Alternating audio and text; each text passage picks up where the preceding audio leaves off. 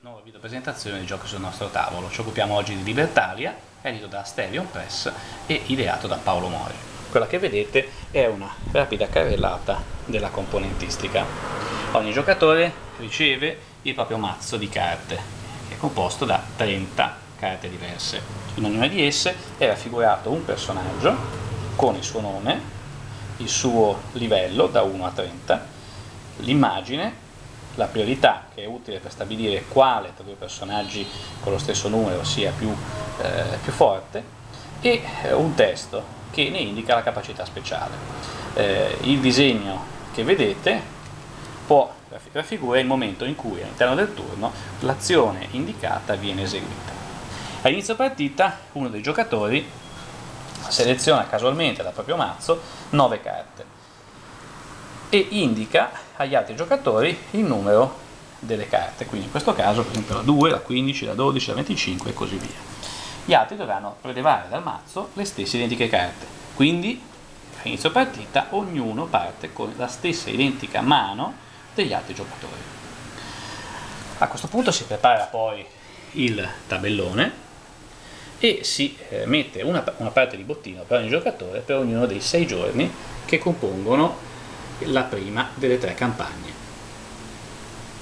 In ogni turno ciascun giocatore seleziona tra le carte che ha in mano una carta che intende giocare in quel turno e tutti insieme le girano contemporaneamente e queste, le carte in questione vengono messe a questo punto in ordine crescente.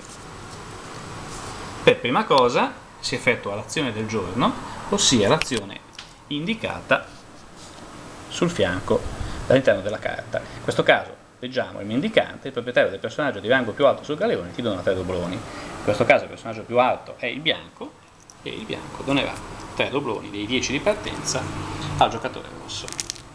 Gli altri due giocatori hanno solo un simbolo notte, quindi non viene eseguita in questa fase. La seconda cosa che viene eseguita a questo punto è la pesca, la scelta del bottino. Per primo si parte dal giocatore più alto, quindi il bianco, che decide di prendere un pezzo di mappa. Lo prende e lo colloca nel proprio covo. La mappa, i pezzi di mappa non valgono nulla da soli, ma se alla fine della settimana se ne, sarà, se ne, se ne avranno almeno tre, si potranno convertire in 12 dobloni.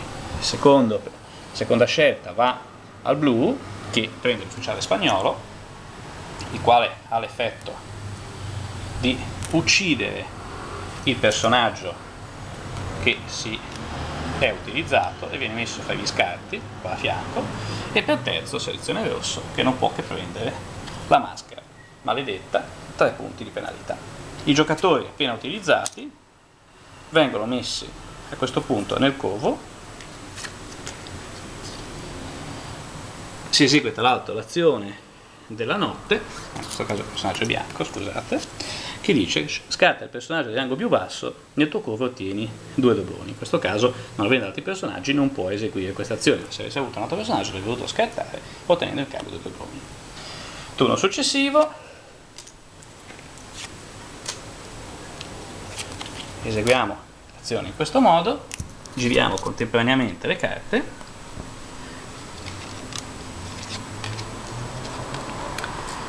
vediamo l'ordine 2, 8, 25, come al solito si parte dall'azione del giorno, il rosso trasferisce tutte le reliquie maledette dal tuo covo a quello del giocatore a tua sinistra, in questo caso blu, quindi trasferisce la sua reliquia maledetta al giocatore blu, che simpaticamente si prende un meno 3.